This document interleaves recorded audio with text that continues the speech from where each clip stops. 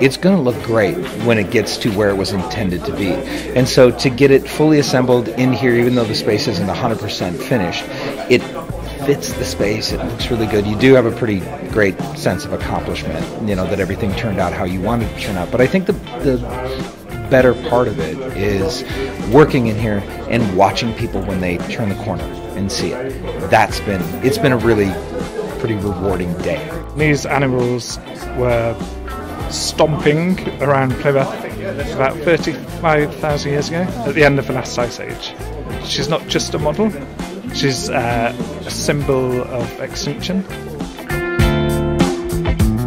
So we have had a boarded up window ever since Plymouth City Council has been looking after this building. So it's really important for us to have something brave, something bold, something new. You know, the, the building here is a Grade 2 listed building here at St Luke's Church. So we wanted to fuse, you know, that old history here in the building with something new.